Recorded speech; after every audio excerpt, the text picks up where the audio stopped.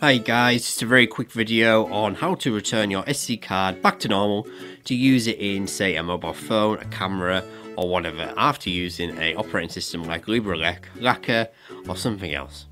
So we're going to be using a tool called SD card formatter. And what this is going to do is it's going to remove those two, two partitions that are on the SD card which creates the partition for the operating system and the partition for the storage.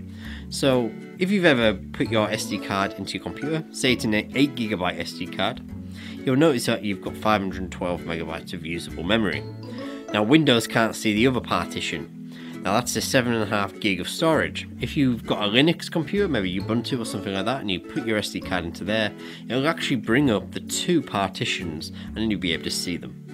Windows doesn't do that which is absolutely fine, it's nothing to worry about. All we need to do is we need to grab SD card format and use this tool to return your SD card back to normal so we can carry on and use it for everyday purposes. So let's crack on right now, let's get on with this tutorial. Don't forget to like this video, don't forget to share it, that helps a great deal. As well as that, don't forget to subscribe to the MXQ project. So the first thing we obviously need to do is insert our SD card with whatever operating system we've burnt onto it into your computer. Then we need to install SD card format. Now, I'm just going to leave the links in the description to where you can actually get this program. I'm sure you've installed plenty of programs onto Windows before, so it's not something I'm actually going to show you, but it's very self-explanatory if you've ever installed a program. So once you've installed SD card format, load it up. You'll see the icon just as displayed, so double click on it obviously, and load it up. Now you need to select the right drive. Mine's on drive H, so I will select that and make sure you actually select the right one. Don't select the wrong one because you don't want to totally format the wrong SD card. That could be disastrous.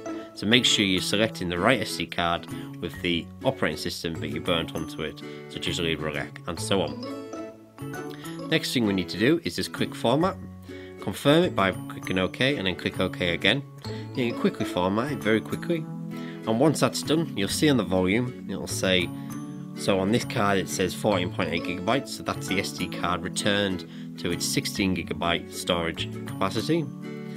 And before it would have said 512 megabytes on this volume label.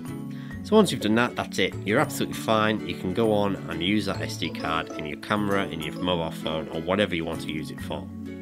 So that's it guys. Thanks for watching and we shall see you in the next one